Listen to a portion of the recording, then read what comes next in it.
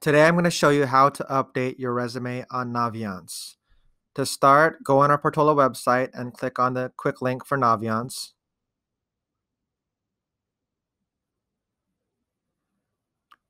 Then go ahead and log in using your computer ID as well as your nine digit password. Then you'll go to About Me, My Stuff, Resume. This will take you to the resume section where you could include work experience, education, volunteer service, all of your extracurricular activities, what you did, and when you did it, as well as your awards. You can also include uh, any personal or professional references.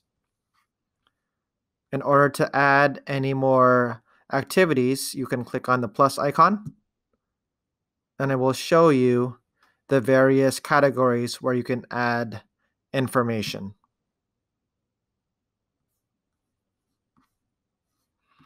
On the print export resume, you can also create resume templates to be able to use uh, when submitting for any potential jobs or internships. If you click on download PDF, it will actually turn your resume into PDF form so that you can submit it.